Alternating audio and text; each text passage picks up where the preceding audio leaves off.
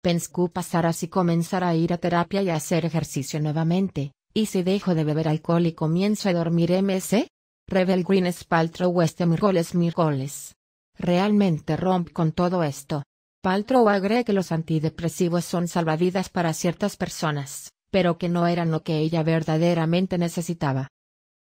Seguen a las fuentes. La estrella expresa Gudosa Keping en 2011, que su ex marido, Chris Martin, había hecho comentarios sobre su comportamiento poco después del nacimiento de Moses.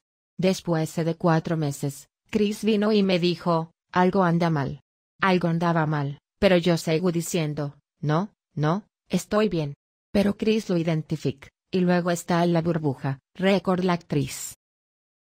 Paltrow expresa que su depresión toma una forma diferente a la que se retrata con frecuencia, hay diferentes matices y profundidades, por eso creo que es tan importante que las mujeres hablen de ello.